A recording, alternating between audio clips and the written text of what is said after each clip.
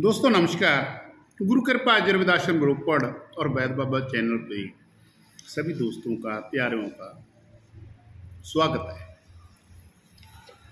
दोस्तों, हम लोग पंजाबी हैं और पंजाब का जो अपना खान पीन है, वो दुनिया से अलग है। पंजाब का रहना सहना अलग है खाना पीना अलग है, पंजाब की दुनिया अलग है।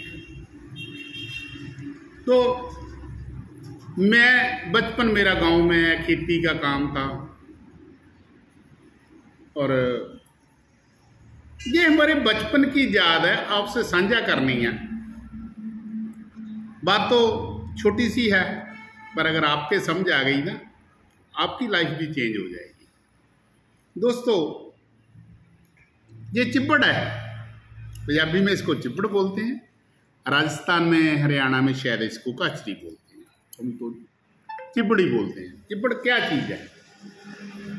तो अगर किसी का मुँह में थोड़ा सा साइज़ अपसेट होता था तो लोग बोलते थे गाली देकर बोलते थे, छोटी सी ये सारा चिपड़ सा है। ये तेरा मुँह तो देख चिपड़ जैसा है। ठीक है? तो आपने इसके बारे में कोई वीडियो देखी, नहीं देखी? मैंने, मेरे को तो कोई दिखी नहीं है। मैं, मेरा एक दोस्त है कुलवंत सिंह दीवान जी। वो मोहाली में कंपनी चलाते हैं। तो उनका जो मेन बिज़नेस है, वो मैकेनिकल वर्क्स है उनकी। तो मैं उनके पास गया हूँ। वो मेरे बहुत प्यारे दोस्त हैं। बातों बातों में बात चली। तो वो बोलते यार चिपड़ लेने जाना है। मैंने कहा जी चिपड़ क्या करने हैं? कहते चटनी बनानी है। मैं अच्छा चटनी बनानी कहते, आप नहीं चिपड़ की चटनी खाते? मैंने कहा, नहीं यार, हम नहीं खाते। कहते तो कारण? मैं कारण कौन खाए चिपड़? आज तो मिलती ही नहीं है। तो उनको मेरी बात पंच कर गई। वह यार, ढूंढ तो सही। तेरे को मिलते नहीं बचपन में खाया? मैंने कहा, बचपन में दो क्वांटलों में खा लिए। लगती थी कि पका हुआ चिपड़ मीठा होता है, कच्चा कड़वा होता है, और ये खट्टा भी होता है। मैं आपको एक बहुत पते की बात बतानी है, बस उसको समझ जाना, आपकी लाइफ सफल हो जाएगी। आप चिपड़ खाते, खाना शुरू कर दोगे आज के बाद। तो मैंने कहा, यार, मेरे पास तो है नहीं। मैं कोई बात नहीं, आपको पाँच सात किलो ला दूँगा। मैंने कहा, कहाँ से ला दोगे? कहते, मंडी लगती है मोहाली में। अलग अलग सेक्टरों में मंडी लगती है, ये राजस्थान से आता है, चिपड़।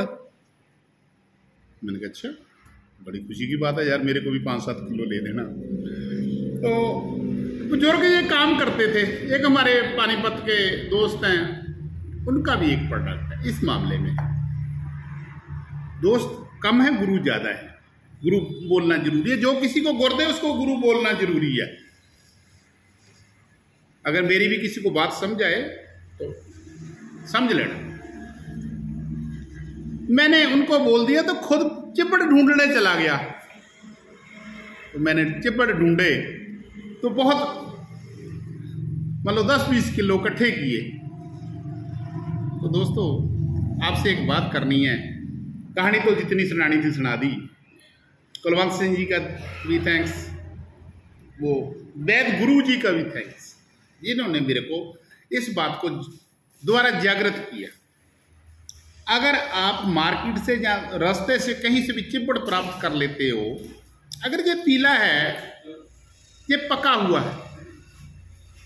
अगर हम जूर कैसेट से आज पीड़ित हैं तो इस वजह से पीड़ित हैं। हम लोग रात को दही खा रहे हैं। हमारा खाना, पीना, रहना, सहना सब डिस्टर्ब है। इस वजह से है। दोस्तों अगर आपको इस चिपड़ की चटनी खाने का शौक डल गया ना, आप क्या आपके खानदान से जूर कैसेट भाग जाएगा? जो लोग हमारे हर दाल में, हर हर सब्ज़ी में टमाटर डालते हैं, दही डालते हैं तो उनका यूरिक एसिड, उनके घुटने दर्द, उनकी कमर दर्द, उनमें कफ वृद्धि बनी रहती है। इसका प्रयोग बता दूँ, वीडियो लंबी हो जाएगी। दोस्तों, इसकी चटनी खाना शुरू कीजिए। ये चार महीने, पाँच महीने फ्रिज में ख़राब नहीं होता। बरसात में पैदा होता है। मई, जून में, जुलाई में इसके पौधे निकलते हैं। जो पुरानी जड़ें हैं, उसमें से भी निकलेंगे। जो नया बीज है, उसमें से भी निकलेंगे।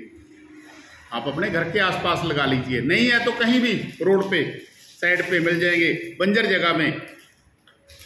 टमाटर खाना बंद कर दीजिए, इसका आधा आधा टुकड़ा आप अपनी सब्ज़ी में डालिए तो आपकी सब्ज़ी का स्वाद बहुत लाजवाब हो जाएगा और आपके शरीर के लिए लाभकारी हो जाएगा। तो जो कच्चे चिपन है, उसकी चटनी कैसे बनाई जाती है, इसका छिलका उतारते हैं, क्योंकि उस जब चटनी बरसात में बना लेते हैं हम लोग। जुलाई, अगस्त, सितंबर अक्टूबर तक बनाते हैं, कच्चे मिल जाते हैं उसमें। तो उसका छिलका उतारो तो बीज को, ये प्याज है लहसुन जो आपको अच्छा लगता है, धनिया जो आपके पास है, हरी मिर्च है, नमक है, जीरा डाल दो थोड़ा सा धनिया हरा भी है, सूखा भी है, जैसा भी है डाल दो तो उसकी चटनी बनाकर खाओ। आपके पेट के आधे रोग खत्म हो जाएँगे। इसकी सब्ज़ी बनाते हैं लोग, इसका पाउडर बनाकर खाते हैं। एक बार शुरू तो करिए। इसको चिपड़ सा कहना बंद करके इसको एक बार प्रेम करिए, आपकी लाइफ सुधर जाएगी। मैंने इसका आनंद देखा है। मैंने बचपन में भी देखा था अभी भी देखा है। ये मैंने बहुत सारे चिपड़ इकट्ठे करे हैं। क्योंकि तो मैं, में किलो में इकट्ठे करे, पचासों किलो ये सारे चिपड़ी चिपड़ है। और वो में सिस्टम भरा पड़ा है, ये चिपड़ इसको हम लोग सिर्फ़ चिपड़ कह के इसको दरकारे पर जब इसका स्वाद देखा, मैंने पचासों लोगों को, अपने दोस्तों को बताया कि चिपड़ खाना शुरू करो, चटनी खानी शुरू करो, आधों का तो बुखार जो टाइफाइड था वो ठीक हो गया। घुटने दर्द कम हो गए, और यूरिक एसिड में लाभ मिला। दोस्तों, इस मुफ़्त की दवाई को अजाई ना जाने दो। अगर कहीं मिल जाए तो संभाल लेना। आप खुश रहिए, आनंद में रहिए। मौज में रहिए। गुरु जी आप पर कृपा करेंगे। जय गुरुदेव।